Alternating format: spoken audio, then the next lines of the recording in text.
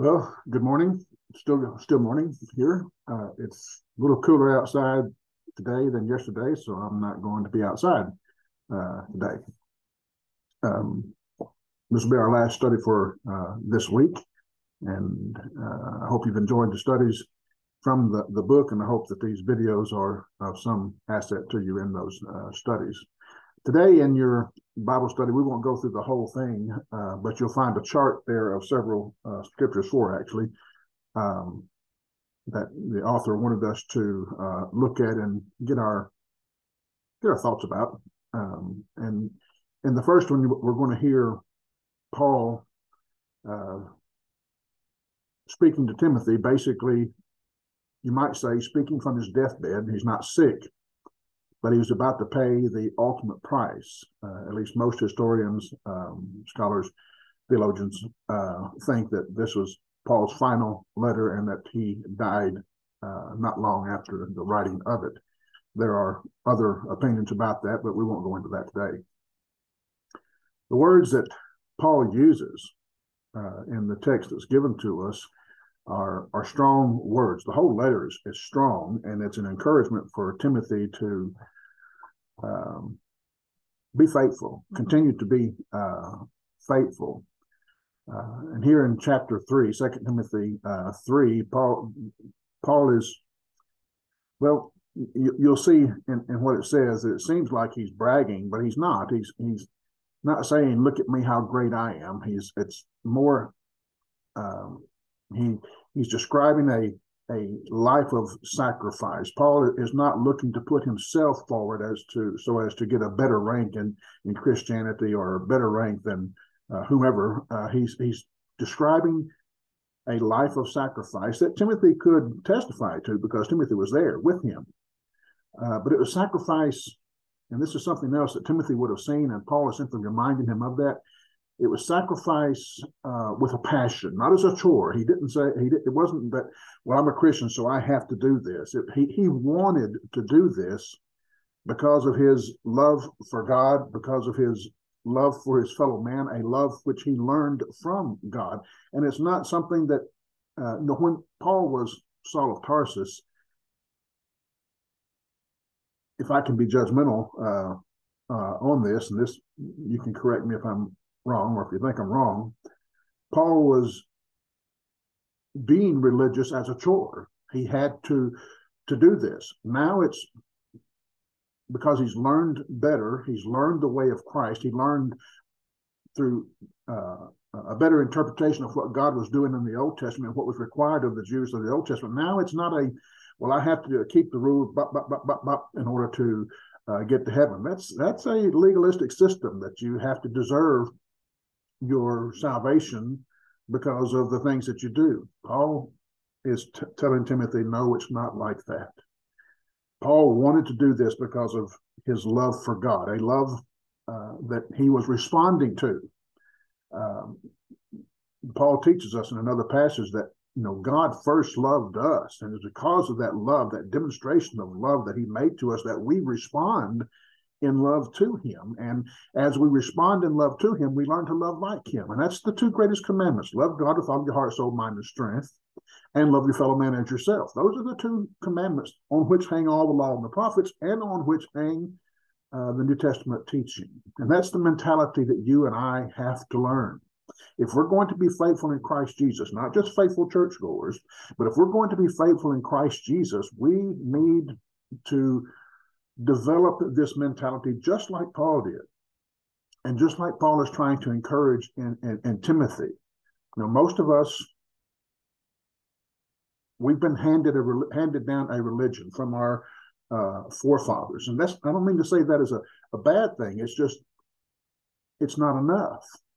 Our faith must be must come to involve the words that Paul uses here in this text, and we'll get to that in just uh, a moment. And that faith that comes from those kinds of words or comes from involving those kinds of words in our life, it, it doesn't happen by accident. It happens when we passionately are in love with our Messiah, with our rabbi, because of what he has done. It happens because we see that his way not just his religious values or his religious rituals, but his way is the only way, is the, the true way. It happens when we see not only what he did, but why he did. And then we adopt and pursue that course for our own lives. Because it's our response to God demonstrating such magnanimous, mag, mag, such great love, magnanimous love uh, for us. Uh, we can't. I don't know how to say it. It's it's it's our response to God is because we understand what He did and why He did. And it's not a religious response, it is a life response, a change of life values uh, response. And it ends up being um, demonstrated in our love for other people, even when that love for other people requires sacrifice. That's what God did, and that's what He calls us to be. So I ask you, as we look at this text, to read Paul's words with, with that in mind, to read them uh, with the purpose of growing to be like that, because that's what Jesus was, and that's what Paul wanted to be, and that's what he was encouraging in Timothy. That's what he's encouraging in in Mike and in, you. If if we want the Blue Ridge Church to grow, and I passionately do, I would not have come to Blue Ridge if I did not want the the Blue Ridge Church to grow. I'm, I'm not a preacher who just takes a job because it's a job. I took the last job I took because I wanted that church to grow. I wanted it to become a people who were like Christ or like Paul, who was like Christ. And if we want the Blue Ridge Church to grow, and I'm not necessarily talking about numerically, that'll be a great blessing if that happens. But if we want to grow in spirit, we're going to have to passionately be involved in the way of Christ, not just be passionate about our religion, but passionate about our our faith. And I, I think there, while there are some similarities in the, those words and how we understand those words, there are some differences too, and we need to come to understand that. Let's look at 2 Timothy 3, beginning in verse 10. But you, Timothy, have carefully followed my doctrine, my manner of life. The word there for manner of life is the, the leading of my life, the path that I walk. You have carefully followed looked at, watched my the path that I walked. You have carefully followed my purpose. The word is prothesis. I, uh, uh, how I stood, how uh, what was important, what I put forth in my life as being important. Paul could have put, put a lot of things. If he remained religious like he was as a Jew, he could have put forth a lot of things as being important. But he rather put his whole life in Christ, and that the way of Christ was what he put forth as imper- as as important. So he says, "You have carefully followed my doctrine, the teaching, my manner of life, the path that I walked, and the purpose. Uh, I, the, the, what I put forth as most important: my faith, my long suffering. Um, the it's a compound word meant there, meaning my long passion. There's a couple of words translated as long suffering in the New Testament, and uh, this one is um, long. this is my own uh, putting the Greek into the English translation. Uh, long passion, how I suffered long. Um, I, I put up with a lot that came against me because I wanted to be like Christ. I wanted to love the people, even the people who were persecuting me. I wanted to love them like Christ loved them. You've watched that, Timothy. You you've seen that. You've seen my love. This is a familiar word to you. It's the word agape, taking care of others' needs first, uh, regardless of the sacrifice that's uh, required. That's the same love that God had for us. And Paul says, "You've seen that in me. You've seen my perseverance. Hupomone is the Greek word. Endurance. But James uses that word a lot. You've seen um, my persecutions." I have very limited knowledge uh, of, of Greek, the same knowledge that most anybody can have with a uh, Greek lexicon. Uh, I, am not proficient in Greek. And so this word here, in my limited knowledge of Greek, it, it it's a puzzle uh, to me. The best I can do is uh, describe it to describe it is to say it, it speaks of a of a servant who is beaten, a servant his, who is pursued or or chased in an aggressive uh, manner. You've seen how I have been pursued uh, as as a slave or as a servant uh, in my faith. You've seen my afflictions is the next word that he gives us. That it's there. The word is like emotional uh, sufferings. You've seen the emotional sufferings that I endured because of my faithfulness to the way of Christ. He speaks of specifically what happened to him at Antioch, Iconium, and Lystra, which persecutions I carried, I endured, I carried as a burden. And he says, uh, out of all of them, the Lord delivered me. And I don't think Paul is saying something different about the one he's going through now. He's in prison, he's going to die, but he knows the Lord will deliver him. The the the uh, letter ends up with him saying, "The Lord, the righteous judge, will give me that reward." Uh, so he he knows he's going to be delivered, not physically this time. He's going to die, but he still will be delivered, and that's Paul's encouragement to him that don't give up, Timothy, because uh, the Lord will deliver you, either physically out of that situation in which you might be, or spiritually, uh, eternally, uh, or both. Um, well, not both. Uh, if he dies physically, uh, then he will not have survived that burden or that that persecution in a physical sense. But God will have will reward him spiritually. And that, that's the promise of the book. Uh, he says, "Yes, and all who desire to live godly in Christ Jesus." And there's the key. I think um, if we can get a key here. That's it for us. Those who desire to live godly in Christ Jesus, not those who religiously do things because they're Christians, but those who live godly in Christ Jesus. They will suffer persecution. Not suffering persecution, not going through trials. Maybe we need to consider are we living godly in Christ Jesus or are we just being religious? Are we just putting Church of Christ on our sign out there and saying that we're Christians? There's so much more here that Paul is trying to describe to Timothy and to us in living godly in Christ Jesus. So again, I ask you to see these words, to, to, to hear these words as something Paul chose to take upon himself and why. Uh, he chose that, and that's the key point. I, I, maybe I don't do a good job at explaining it as uh, Paul would have to uh, Timothy, but he, he wanted what Jesus gave to him to be given to others, and his life with persecutions would would accomplish that. It's the means by by which God would accomplish uh, that, and Paul saw it uh, that way. So Paul just didn't just religiously go to church. That's not the apostle Paul, and that's not what he's encouraging in Timothy. It's not what he's encouraging in us.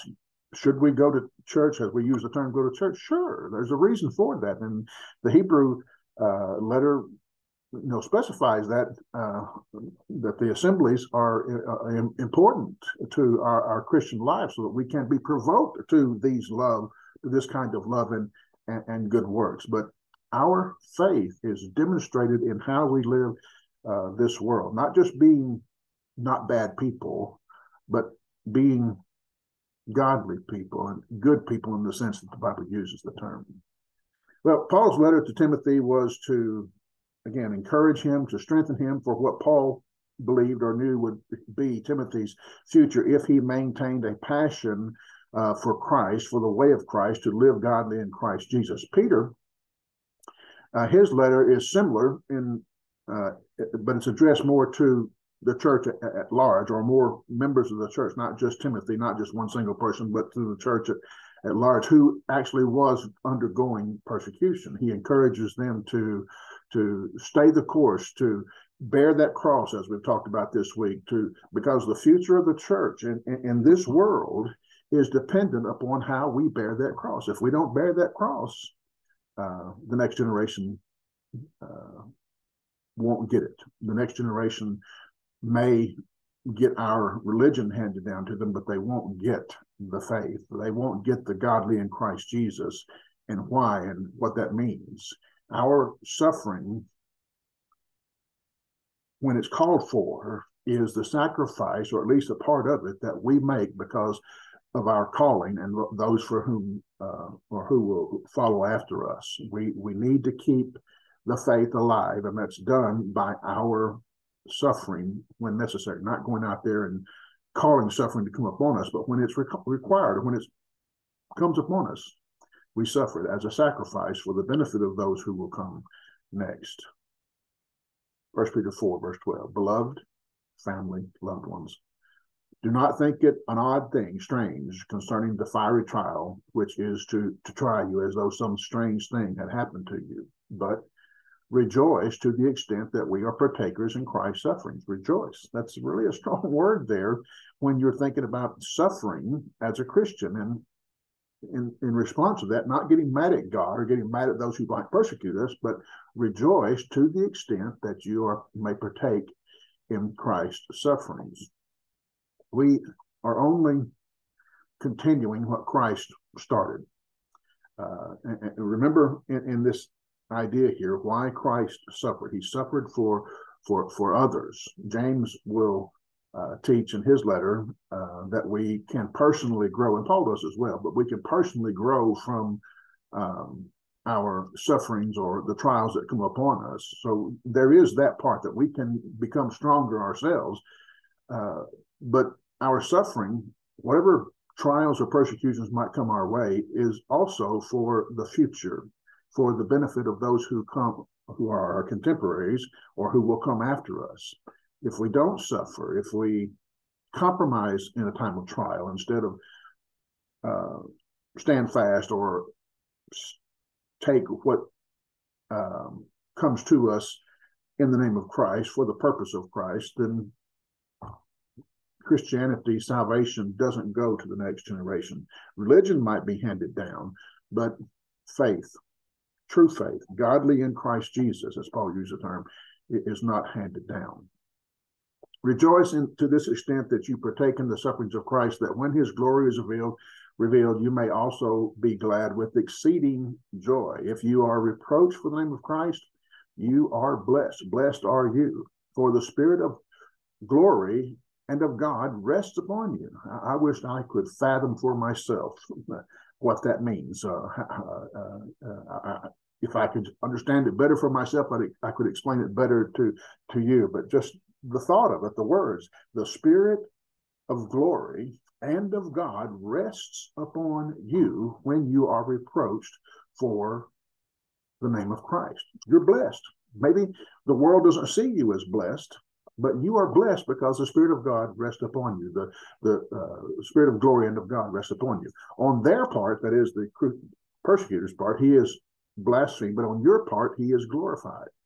I don't suffer as a murderer, a thief, or an evildoer, or as a busybody in other men's affairs. Yet if anyone suffers as a Christian, let him not be ashamed, but let him glorify God in this matter.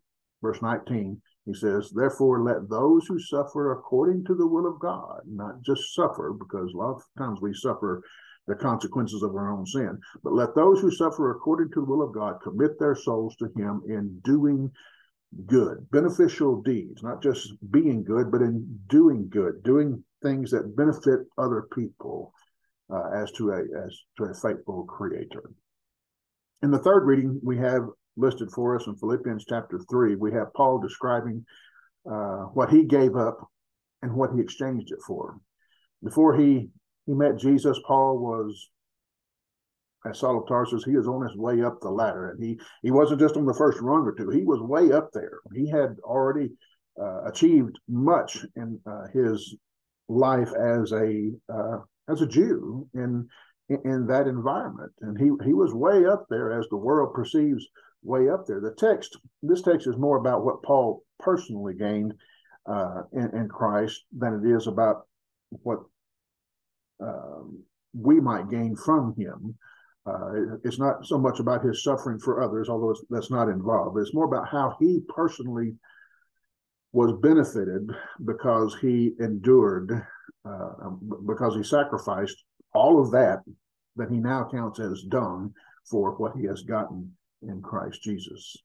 And again, I ask you to see not a man whose chore it is to live a Christian life, to go to church and not do this and not do that and do this and do that uh, because that's what's on the list that I have to do or not do. Uh, but I ask you to see this as a man who whose passion it is to to chase after Jesus, the living and eternal Son of God. Philippians 3, verse 8. Yet indeed I also count all these things lost for the excellency of the knowledge of Jesus Christ my Lord, for whom I have suffered the loss of all things, and now count them as rubbish, uh, a manure pile, uh, that I may gain Christ and be found in him. Not having my own righteousness, you did good, good, good, good, good, but having the righteousness which is through faith in Christ, the righteousness which is from God by faith. Folks, when we live godly in Christ Jesus, we will be seen as righteous, not because you have done uh, good things because you are more righteous in the world's term using that term than anybody else, but because we have the righteousness of God, righteousness from God. He says, I, I do this that I may know him and the power of his resurrection, know the fellowship of his sufferings, being conformed to his death, if by any means I may attain to the resurrection of the dead. Not that I have already attained, not that I have already attained or am already perfected, but I press on. I continue that I may lay hold of that for which Christ Jesus has also laid hold of me. Powerful, powerful words when we uh, understand them and uh, apply them. Very quickly, First Peter 5, uh, beginning in verse 8, the last reading, uh, he, he says, Be sober. That's the word, uh, don't be drunk. Uh, uh, but the idea and application is don't be duped like a drunk might be. You can, uh, a man who's drunk, you can convince him of a lot of things. Uh, and they make up a lot of tales or a lot of things are exaggerated when you hear the drunk tell about what happened, an event that what happened. Well, he's uh, allowed the alcohol to to so change his um, understandings that he makes up tall tales. Don't be deceived. Don't be drunk and duped and by context by Satan, but rather be vigilant. Uh, stay awake because your adversary, this is not the little guy with uh, red horns and a red ponytail and a red pitchfork. This is the devil, Satan, the beast, the dragon, he is your adversary. He's the one who wants to destroy you. And he walks about like a, a roaring uh, lion, seeking whom he may not play with, but devour. These are strong, strong words that Peter is trying to help us understand. Resist that beast, stand against him. Uh, be steadfast in uh, the faith, knowing that the same sufferings are experienced by your brotherhood in the world. He's going to come at you and he's going to come hard against you and he's going to pressure you to give up, but stand fast. Don't be duped by his lie. If you compromise, the world's not going to love you more uh, and you're going to lose your eternal uh, salvation. Don't be duped that uh, everything will be good and hunky dory if you just uh, compromise, resist him, stand fast in the faith, knowing that others have done so uh, as, as, Christians, as godly men in Christ Jesus. They have uh, experienced much pain, much suffering, and much glory because of it. Verse 10, but you, but may the God of all grace, who has called you to his eternal glory by Christ Jesus, offer you, uh, after you have suffered a while, perfect you, refresh you, establish you. That word is uh, think about setting a, a post in concrete. Uh, if you, I set a post in um, uh, gravel one time, and you, you, you hit it, and it just kind of falls over. It just goes with the the gravel. You set it in concrete, uh, and it's you hit it, you've hit something. Be like that. Be established like that. Strengthened. Uh, uh, after you have suffered a while, perfect, establish, uh, strengthen, give bodily vigor uh, is the Greek definition or the English definition of that uh, Greek word there.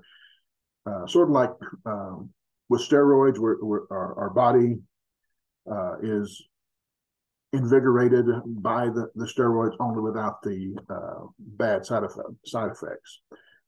uh, may the God of all grace, who has called us to eternal glory by Christ Jesus, after you have suffered a while, perfect you, establish you, invigorate you, strengthen you, settle you. The word settle there uh, is sort of like the word established um, there in the earlier part of the, the, verse to settle you in a in a firm place. It's the same word that Jesus used uh, when he spoke of uh, being founded upon the rock rather than upon the sand.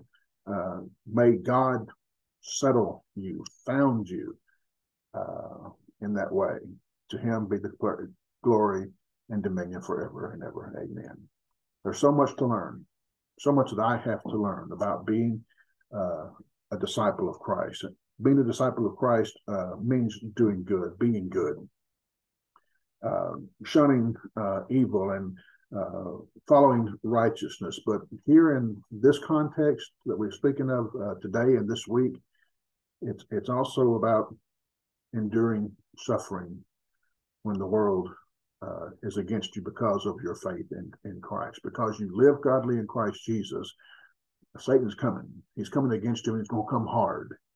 And he will persecute you. And he, we need to so passionately follow Christ that we don't allow that persecution, that suffering, whatever it might be, to change who we are. And rather, as Peter says here, be perfected, established, strengthened, settled uh, by God Himself. I hope that's who you are. I hope that's what God is doing in your life because you are standing fast, resisting uh, the devil. That's God's promise here in this text. That's God's promise uh, to you. Don't give up. Don't forsake. Don't wobble. Don't try to straddle a fence. Don't uh, give God an hour a week and, on, on Sunday, but give Him your life. Passionately give Him your life, and you will see that God is working in your life, perfecting you, establishing you, strengthening you, settling you. And I hope that's who you are. I hope that's who I am. I hope that's who we can be. I hope we can leave a mark in Blue Ridge that will cause the church to be here for centuries to come. You look at some of the uh, churches that are written to by Peter and uh, Paul and, and uh, others in the New Testament, then they're gone now. They're not there. Somewhere along the line, um, those churches weren't being what they needed to be. Uh, and Jesus speaks of that in the uh, book of Revelation when he writes the seven churches of Asia. Um, if we want this church to continue, and that want has to be a, a, a passion a passion for the souls of other people, a passion for God. Yes, we need that first, but that passion for God turns into a passion for other people because that's who God is. We respond to God because of the love that He has for us, and that response involves showing that same love for other people, even at a sacrifice. And sometimes that sacrifice comes in the form of suffering persecution. Um, Yep, I said enough. I think. Um, I hope that uh, this is helpful in your studies. Hope this is helpful in your Christian life and and in mine. May uh, God bless you in your studies. See you. Well, today is uh, Friday. Uh, if you're watching this on today, tomorrow is the Pig Out Day. I hope we get to see you tomorrow uh, at at the Pig Out, and then again on uh, Sunday. Talk to you later.